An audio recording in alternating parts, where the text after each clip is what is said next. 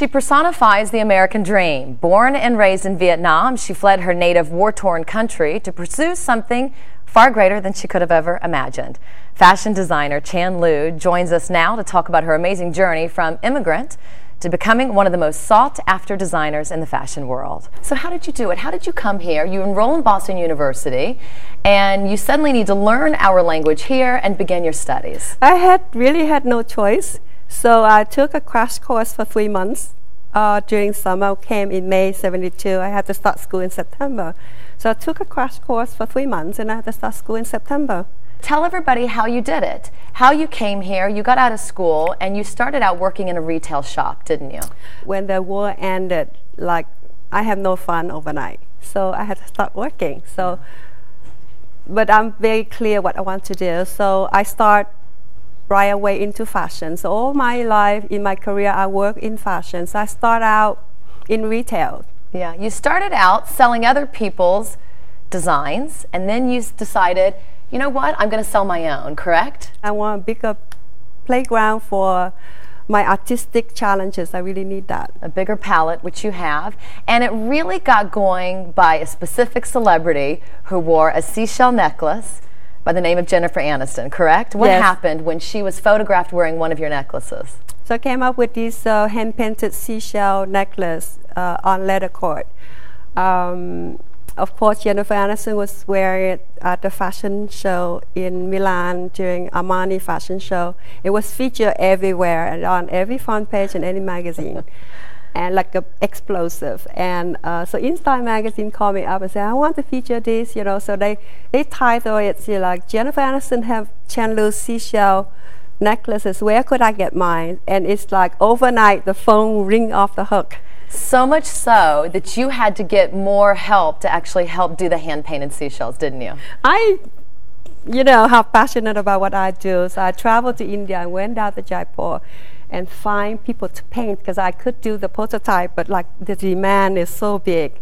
So we went down to Jaipur and, you know, I recruit all these Kashmiri painters uh, and form like a little village. And all these Kashmiri uh, artists um, are like refugees from the um, the political problem they have between Pakistan and and uh, and Kashmir. So they are in Jaipur looking for work. So they do all the hand painting for me. They couldn't paint enough, and we employ about 360 painters, and uh, we feed a lot of poor people. We make a lot of life better. You make life better, and this is this is kind of the line that's really explosive right now. Are these wrapped bracelets? Yes. they're all hand done. And what you've done for Asian the Asian folks overseas is you're taking them out of the sweatshops, aren't you?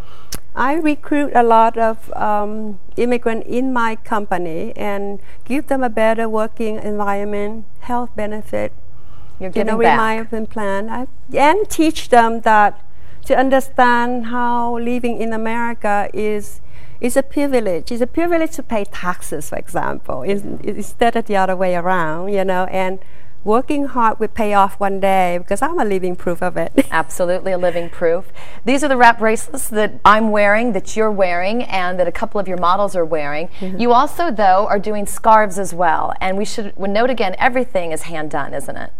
Everything is hand loom, and this is uh, 70% cashmere, 30% silk, and it's uh, right now like the hardest things in my collection right now in terms of scarf beside the wrap bracelet. Right. And the colors, people come to me for colors. Yeah, your colors are obviously very outstanding. We've got skinny scarves that have also really taken on a life of their own. They're not just scarves, they're accessories, aren't they? Scarf, Saks Fifth Avenue is the biggest um, account. Like Yeah, they- I got into trouble with her because she sells so much of it, I couldn't ship fast enough. Yeah, Saks Fifth Actually, Avenue sells out yes, of these. uh, actually, that scarf that you're holding is in Twilight right now, the vampire movie. Oh, it's in the movie Twilight. How interesting. Same as a wrap bracelet. That's great. Let's bring out Brie and Renee, Mm-hmm. two of your models today, because you're known for your jewelry and accessories, but you are now in a ready to wear collection as well. Describe to us Brie here and Renee and what they're wearing. Everything we do is hand done, you know. This is the skinny scarf that I'm talking about. It's, it's worn like scarf jewel, you know, and this is a cashmere scarf, and, and Brie have two of them together. The wrap bracelet right here you know, Henry Bendel have a big collection of that. Blow It Out, Scoop, Intermix, Ron Herman in LA.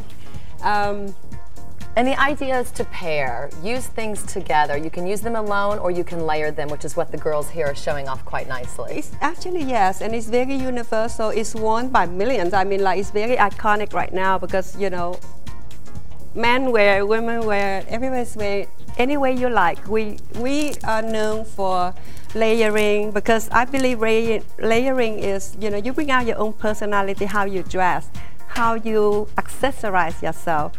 Where does your inspiration for all of this come from? Where do you get your inspiration to design all of this? I'm very much into uh, the complexity of a different culture, so most of the time my inspiration comes from the street people. Like I travel in India, I see people on the street, I see this man on the street wearing this you know, beautiful this beautiful bracelet. I said, could I, where could I get one? He said, you have to go to temple, pray, then you could get one for free. I said, okay, I go home, I create something that I have in mind.